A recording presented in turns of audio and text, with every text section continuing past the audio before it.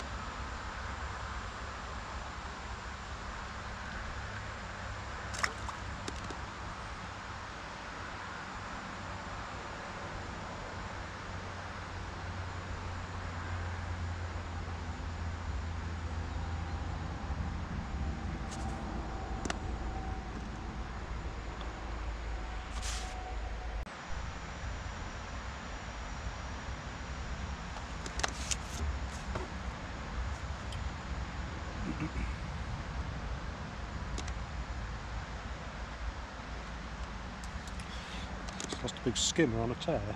Um, shame about it's about about 12 ounces, but a nice fish. But never mind.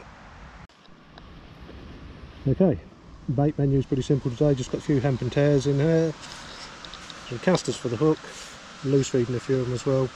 If it gets really desperate, I've got some red maggots. Um, but apart from that, that's it. So I'm going to have to make it work.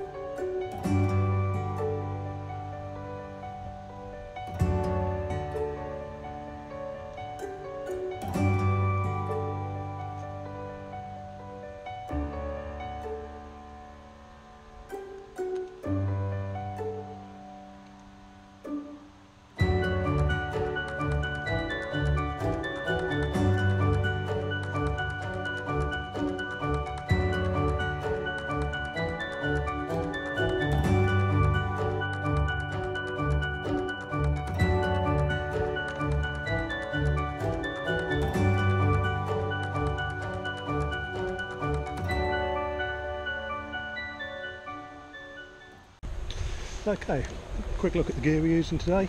Um, as I mentioned earlier, I'm fishing six metres to hand. Uh, the swim's about eight and a half to nine foot deep, and the flow's just just creeping through. It's hardly moving. It was moving quite. It was moving nicely when I got here, but it seems to have just eased up um, the last hour or so. Anyway, this is what we're using.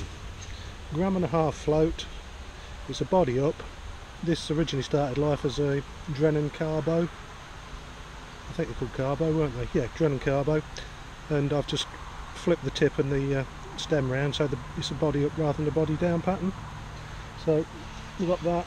That's on um, 012 main line. And then about four foot from the uh, hook I've got a bulk in the form of a Olivette. And I've got one, two number eight shots and I've got two number 10 shots down to an 010 hook length and a Preston N10 in a size 16. I started off on an 18 but because I've been swinging most of the fishing I just changed to, an, uh, changed to a 16 just to give me a bit more confidence and uh, been quite pleased. I've only only dropped one fish off and I've had quite a few now so um, the hook's hook's done really well, stayed sharp and uh, not like I say not dropped many off. Anyway sessions started off really quite well. Four balls ground bait, straight in over the top with a couple of maggots, another skimmer about 10 ounces. Put a pair of casters on and over, over the ground bait again at full depth and had another skimmer. Then I had another skimmer before I had a bleak, uh, two or three bleaks, so I changed straight over to the tares and within 20-25 minutes I had them, I had them queuing up. Um, then I got a feeling a pike moved in um, because it all just went really really iffy. And uh, then I hooked a small pike. And it's been coming in fits and starts you know I'll catch a few fish in 10 minutes 15 minutes and then it'll go quiet for 10 or 15 minutes. But I've been plugging away and I've got a few pounds so no to grumble about. Kept it nice and simple today with the bait as I said earlier hemp tares and casters four balls of ground bait to start with and that was it. It's just been loose feed thereafter. And uh, the whip is my trusty old Shakespeare Super Team whip. I reckon this must be 30 years old now. And uh, I don't use it very often but sometimes just like to show it the show it the light of day. Kind of justifies keeping it doesn't it? But um, yeah it's performed well. Can't grumble and it's only six meters so I'm a bit limited with it. But um, until I get something newer and, and more modern then uh, this is what we're stuck with. But um, anyway we'll carry on so we can catch a few more before we pack up because it's barbecue day at home so I can't be too long. So catch you in a bit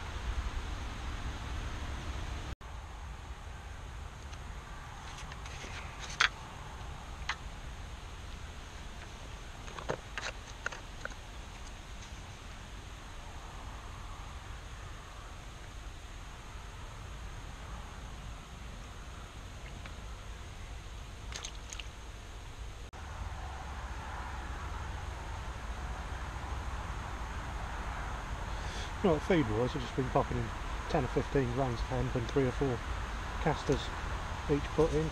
Just steady. This this venue don't seem to respond well to feeding too heavy. I think you, you, you can kill it if you uh, go too hard at it. So I think you're better off just tickling it in and uh, seeing how it goes.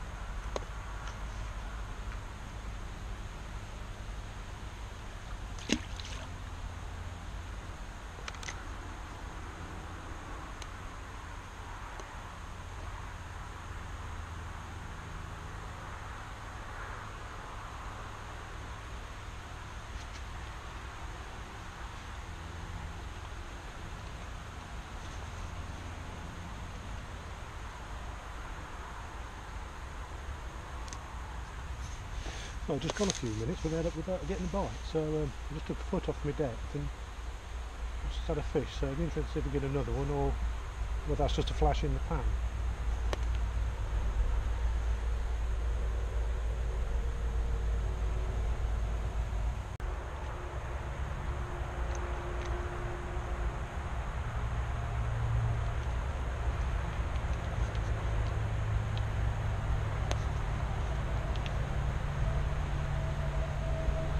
Okay, I'm going to call it a day now.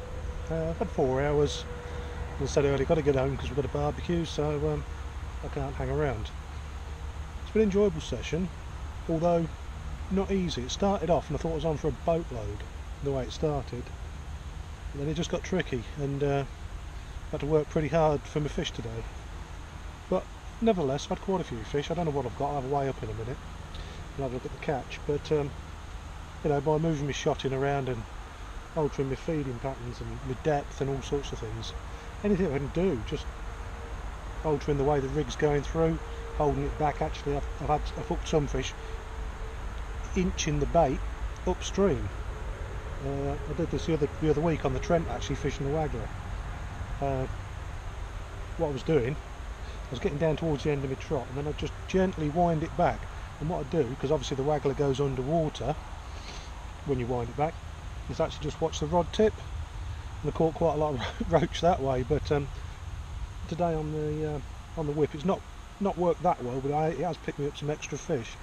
So like I say the good thing about fishing one method and one line which is something I do quite often well for me anyway and I think I don't know whether you, you'll agree is that what it does it makes you actually think about what you're doing and makes you work harder um, and you you know where you think the limitations of your equipment are you can actually find there's there's a bit more in there than you thought just by altering and having to work at it rather than tossing it up the bank and picking up the feeder rod or whatever you what else what else you would do.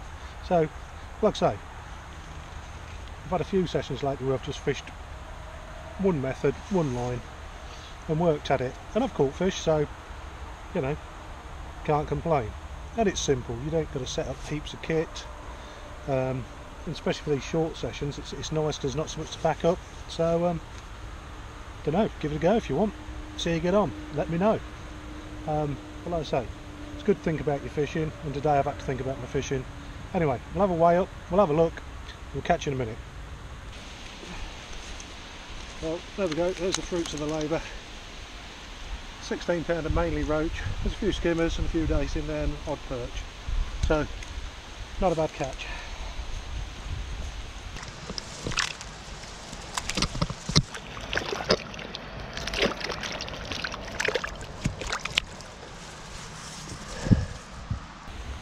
Well, okay, that was a good, good little session. Quite enjoyed that, and uh, can't complain. Could have probably had more if I'd have fished the, fished the pole and had two or three different rigs set up so I could actually present my bait more where they wanted it and where they wanted it in, in the water depth wise.